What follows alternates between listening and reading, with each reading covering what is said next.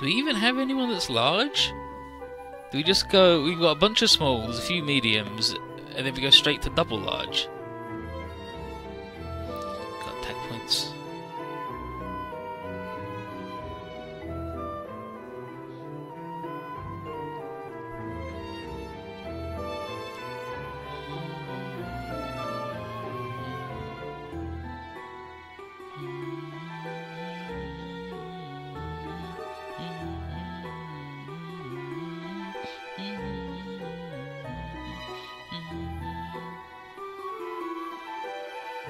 I will murder you, bird.